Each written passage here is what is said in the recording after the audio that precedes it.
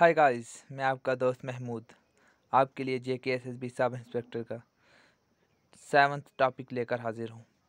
Please subscribe my YouTube channel J K S S B maths teacher इसमें हम concept देखेंगे tricks भी और मेथड भी। कंपाउंड इंटरेस्ट अब कंपाउंड इंटरेस्ट हमने सिंपल इंटरेस्ट और कंपाउंड इंटरेस्ट के बारे में थोड़ा बहुत जानते हैं। आपके लिए आज मैं थोड़ा सा इंटरेस्टिंग थोड़ा सा इस टॉपिक में इंटरेस्ट डालना चाहता हूँ, देखो आप।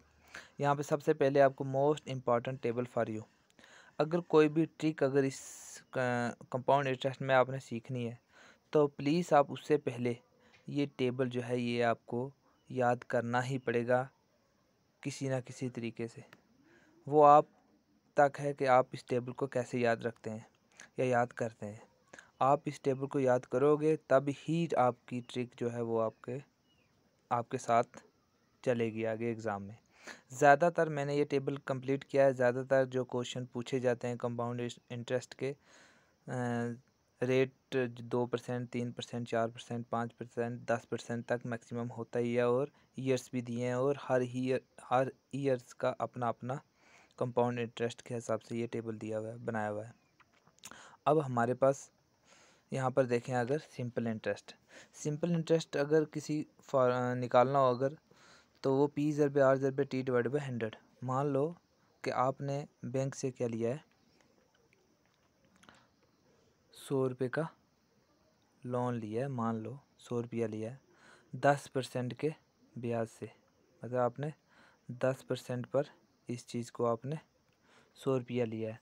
अब सौ रुपये का दस परसेंट क्या हुआ? सौ रुपये का दस परसेंट यही हुआ। Multiply by ten divided by hundred यही हुआ। तो इससे हमारा भाई ये कैंसिल ये कैंसिल हमारे पास दस परसेंट ही आ जाएगा। ये हमारा सिंपल इंटरेस्ट तो ये था एक साल के लिए। अगर यही चीज़ तीन साल के लिए लिए लिए ली हो तो हमें तीन के साथ मल्टीप्लाई कर दिया तो हमारे पास आ जाएगा थर्टी मतलब तीस रुपये तो अब बैंक वाले को हमें तीन साल के बाद कितने देने इसी लोन को जो द सौ रुपया हमें, हमने तीन साल के लिए लिया तो वो हमारा बन गया तीस रुपये और एक सौ तीस रुपया हमें बैंक वाले को तीन साल के बाद वापस देना पड़ेगा। ये हो गया सिंपल इंटरेस्ट। अगर यही हमें कंपाउंड इंटरेस्ट निकालना हो तो कंपाउंड इंटरेस्ट के लिए क्या करेंगे हम? कंपाउंड इंटरेस्ट में देखें आप यहाँ पर, कंपाउंड इंटरेस्ट का। कंपाउंड इंटरेस्ट में अगर हमने सौ रुपया लिया है, और वो भी हमने दस परसेंट के हिसाब से तीन साल के लिए है तो इसके लिए हमारे पास ये बन जाएगा multiply by one by hundred तो यहाँ से ये कैंसिल यहाँ से ये कैंसिल दस परसेंट के हिसाब से है, ऊपर दस ही रहेगा हमारा तो टेन वन ज़ा टेन ये हमारा आ गया एक साल के लिए. अब ये आया है कंपाउंड इंटरेस्ट का एक साल का दस रुपये अब दूसरे साल का कंपाउंड इंटरेस्ट का जो रेट है, वो हंड्रेड पे नहीं, अब सौ रुपया हमने लिया हुआ था हंड्रेड रुपीज़ हमने ली हुई थी और दस रुपये एक साल का हो गया है और दूसरे साल अब वो प्लस टेन प्लस हंड्रेड वो जो लोन हमने लिया हुआ है सौ का, वो साथ में रहेगा। अब हमारे पास बन गया है एक सौ दस, एक सौ दस। अब जो इंटरेस्ट रेट पड़ेगा, वो अब दूसरे साल में जो पड़ने वाला है, वो दस परसेंट के हिसाब से एक सौ दस रुपये पे पड़ेगा। तो यहाँ से हमारे पास ये ज़ीरो कैंसिल ये ज़ीरो कैंसिल यहाँ से ये ज़ीरो कैंसिल यहाँ से ये ज़ीरो कैंसिल तो अलेवन वन से अलेवन तो हमें दूसरे साल ग्यारह रुपये बढ़ेंगे। दूसरे साल ग्यारह रुपये मतलब एक साल का दस रुपये हो चुका है और दूसरे साल ग्यारह रुपये अब वो मिलकर दोनों, पहले साल का हमें पड़ा था दस रुपये और इस साल का हमें पड़ा है ग्यारह रुपये और दस और ग्यारह हो गया हमारे पास इक्कीस रुपये अब हमारे पास जो इंटरेस्ट जो दो साल का जो हमें जो इंटरेस्ट देना है बैंक वाले को, वो इक्कीस रुपये देना है दो साल का, सौ रुपये पर। तो अब हमारे पास आगे तीसरे साल का, तीसरे साल का हमारे पास इंटरेस्ट रेट बनेगा। अब इक्कीस बन गया दो साल का हंड्रेड रुपीज़ हमारे पास पहले था, लिया हुआ और दो साल का इक्कीस रुपये हम पर ब्याज भी पड़ गया। अब वो टोटल हो गया है एक सौ इक्कीस रुपये अब जो हमारा तीसरे साल का जो पड़ने वाला है, वो पड़ने वाला है दस परसेंट के हिसाब से एक सौ इक्कीस पर और दस परसेंट को हम ऐसे लिखते हैं, यहाँ से ये वाला ज़ीरो कैंसिल यहाँ से ये ज़ीरो कैंसिल अब हमारे पास ए वन ट्वेंटी वन सा वन ट्वेंटी वन और डिवाइडेड बाई टेन यहाँ से एक ज़ीरो कैंसिल करें तो हमारे पास बारह रुपये एक पैसा। तो हमारे पास आ जाएगा ट्वेल्व पॉइंट वन अब हमारे पास ये बन गए, हमारा जो कैंसिल हुआ है, हमारा जो तीन तीसरे साल का जो इंटरेस्ट आया है वह बारह रुपये एक पैसा।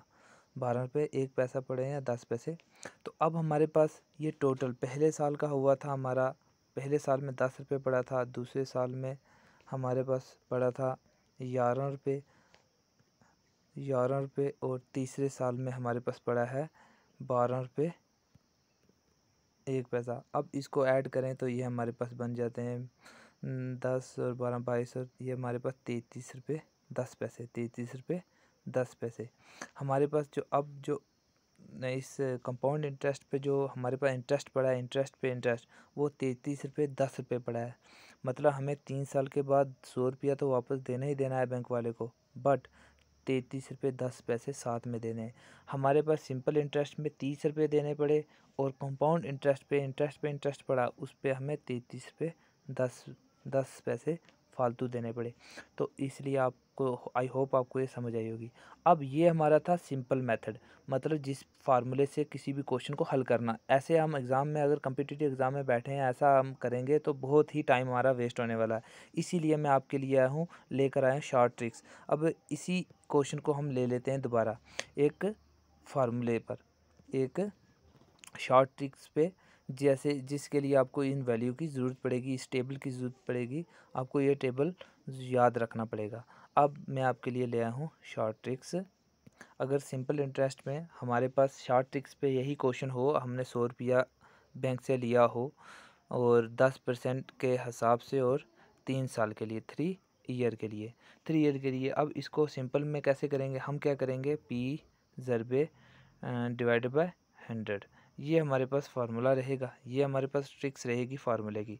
अब मैंने आपको अभी भी कहा कि आपको यहाँ पर एक वैल्यूज़ यहाँ पर डालनी पड़ेगी। वो वैल्यूज़ क्या डालनी पड़ेगी? वो डाली, डालनी पड़ेगी आपको दस परसेंट के हिसाब से तीन साल का टेबल में आपको याद रखना पड़ेगा कि इसका की, क्या वैल्यू थी तीन साल पे, दस परसेंट के हिसाब से तीन साल की क्या वैल्यू थी? मैं आपको दिखाई देता हूँ यहाँ से। ये देखो टेबल दस दस परसेंट के हिसाब से, दस परसेंट के हिसाब से हमारे पास जो तीसरे साल पर हमारे पास जो वैल्यू पड़ी थी थ्री इयर्स की, वो थी हमारे पास तैंतीस पॉइंट टेन तैंतीस पॉइंट टेन यही चीज़ यही चीज़ मैं आपके लिए यहाँ पर समझाने वाला हूँ कि आपको वो वैल्यूज़ याद रखनी है तीन साल की, यहाँ पर आएगा थ्री तैंतीस पॉइंट टेन यहाँ पर ये यह आ जाएगा हमारे पास। अब क्या करना है, हमने जो पी हमारे पास था हंड्रेड मल्टीप्लाई बाय तैंतीस पॉइंट टेन और डिवाइड बाय हंड्रेड ये हंड्रेड से ये हंड्रेड कैंसिल हो जाएगा और हमारा आंसर तैंतीस पॉइंट टेन आ जाएगा।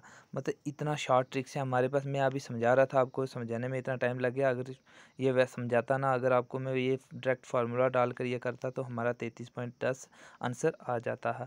तो ये थी आपके लिए शॉर्ट ट्रिक्स आई होप आपको ये समझ आई होगी। प्लीज़ मेरे चैनल को सब्सक्राइब करें लाइक भी करें और शेयर भी करें। थैंक यू मैं ऐसी वीडियो शॉर्ट ट्रिक्स आपके लिए लाता रहूँगा। Okay good bye